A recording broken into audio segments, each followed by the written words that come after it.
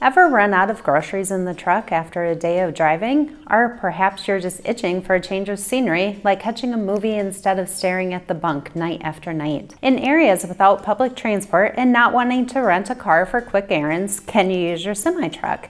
Yes, it's called personal conveyance, but there are some rules. I'm Kelli Bloom, the Compliance Manager at Anderson Trucking Service. I'll explain what personal conveyance is and how it varies between carriers. You'll also learn about FMCSA guidance, giving you the confidence to discuss your company's policy. What is personal conveyance? Personal conveyance means using a commercial motor vehicle, CMV, for personal purposes while in an off-duty status. When it comes to personal conveyance, you can't use it for work-related tasks or to move your load closer to its destination, and your actions shouldn't benefit the trucking company.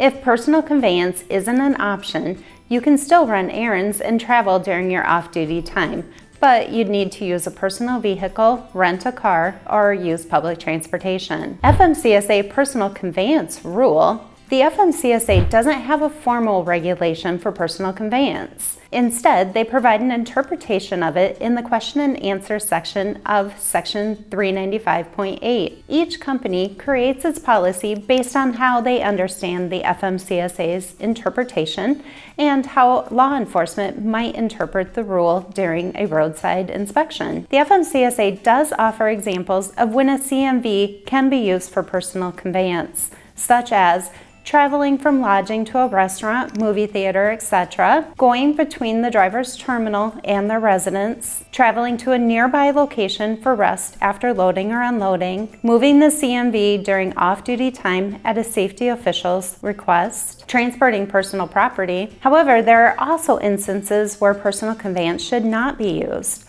such as trying to advance the load closer to the next stop, continuation of the trip, performing work-related duties such as fueling, maintenance, or drug testing, traveling to a carrier's terminal or home after loading or unloading. It's worth noting that before 2020, personal conveyance had to be a round trip and limited to bobtail vehicles only but those restrictions have changed. Personal conveyance is different at every company.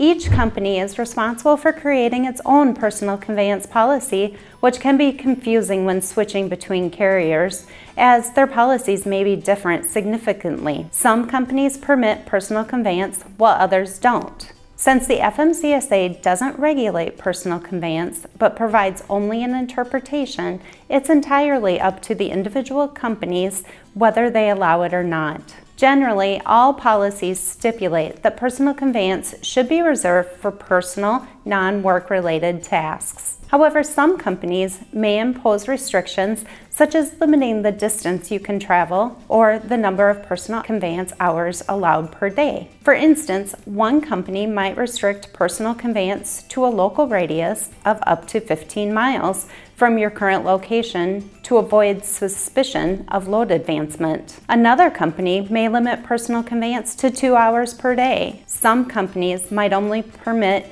personal conveyance during the 34-hour reset and not during legal breaks. Remember, policies can be strict or lenient, so always be clear on what your company permits. Personal conveyance violations. Some drivers try to misuse personal conveyance to extend their driving hours or move closer to their destination, but this can lead to violations. Your company may issue a warning if you break their policy. However, even if you're following your company's policy correctly, you could still run into trouble with the Department of Transportation DOT officer who has a different interpretation of personal conveyance. Be aware that a new violation for improper use of personal conveyance was introduced in late August 2021, and as of mid 2023, roadside inspectors have already issued 17,000 citations for drivers violating this rule. If you receive this violation, it comes with seven Compliance, Safety, and Accountability CSA points.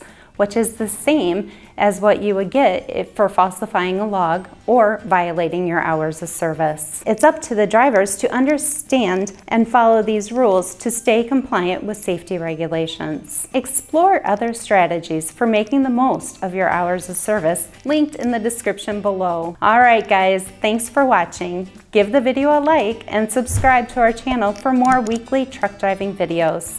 We'll see you in the next one.